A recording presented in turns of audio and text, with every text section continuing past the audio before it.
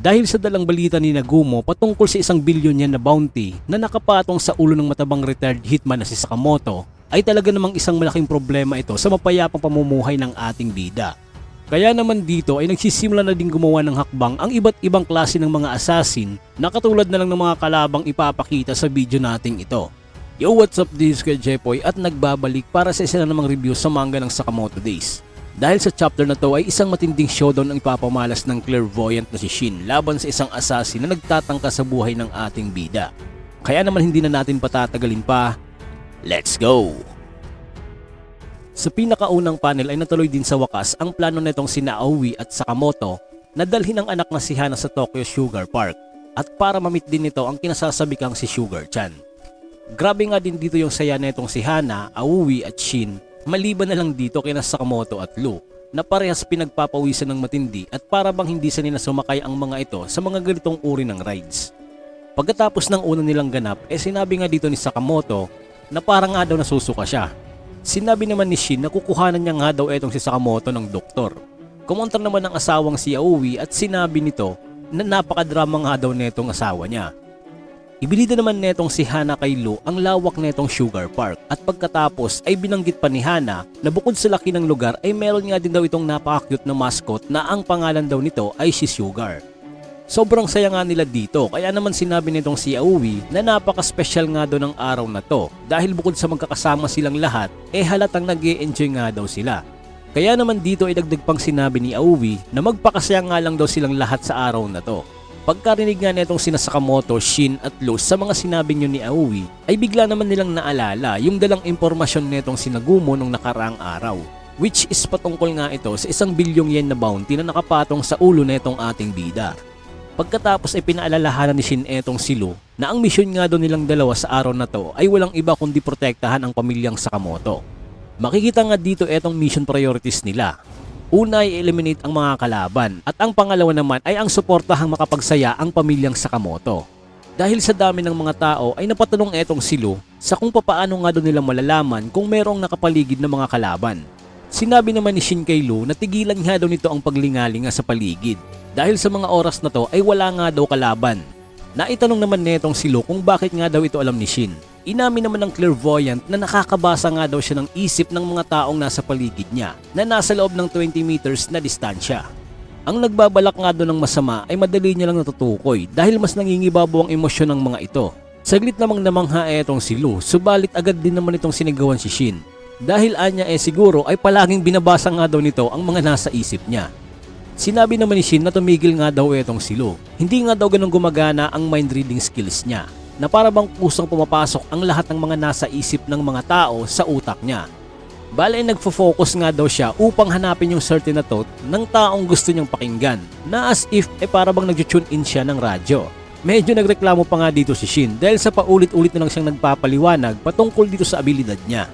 Mula sa bag listening device ay narinig ni Sakamoto ang pagbulong ni Shin na may paparating nga daw na kalaban.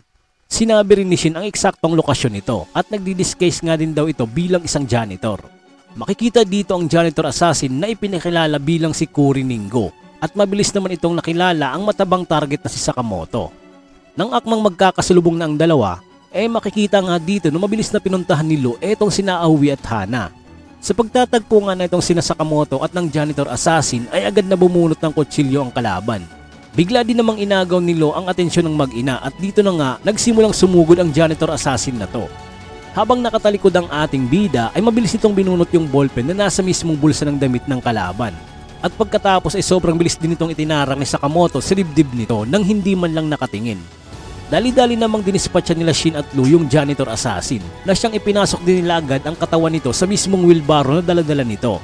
Sobrang ang namang hasilo sa ginawang yun ni Sakamoto kaya naman ay nasabi nito Nakakaiba nga daw talaga etong boss nila. Ni hindi man lang daw nito nilingon yung kalaban.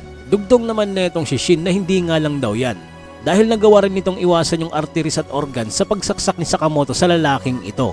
Bali dito e tuluyan na natalo etong janitor assassin. Sa di kalayuan ay nakamatsyag naman dito ang lalaki na to.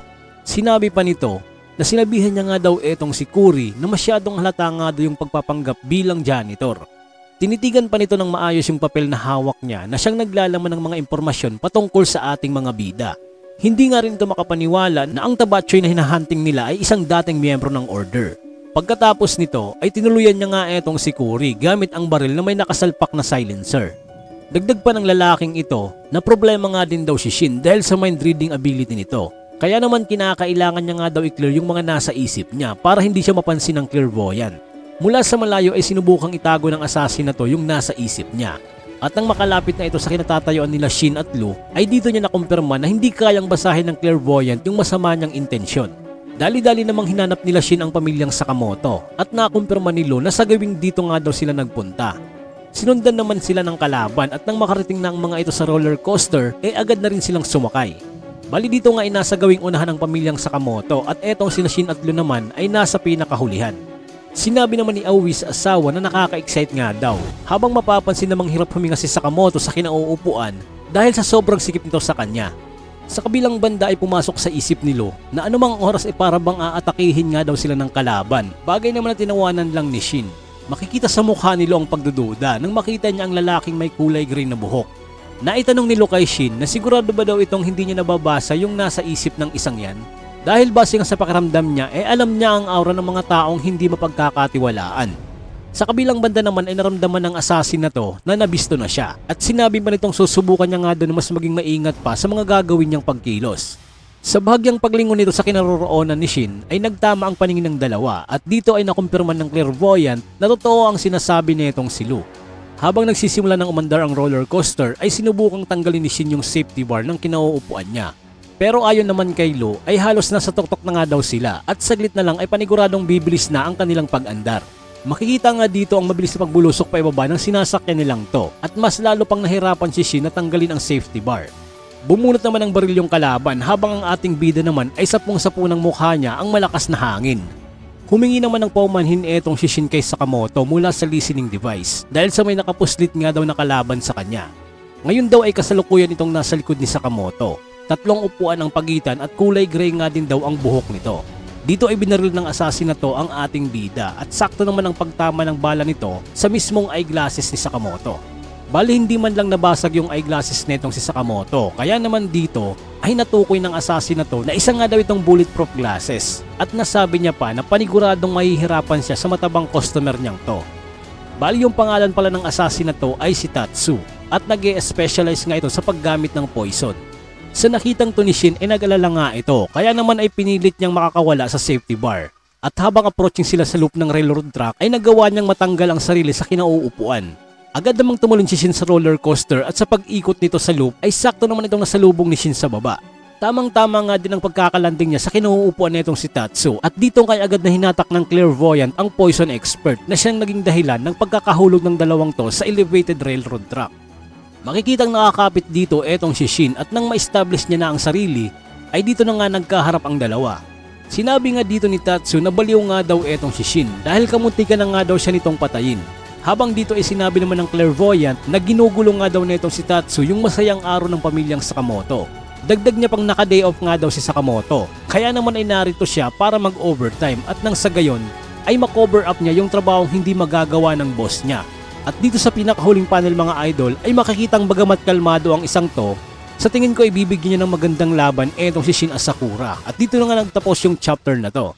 Alam kong nabitin kayo mga idol kaya naman ilalabas ko agad yung karugtong ng chapter na to.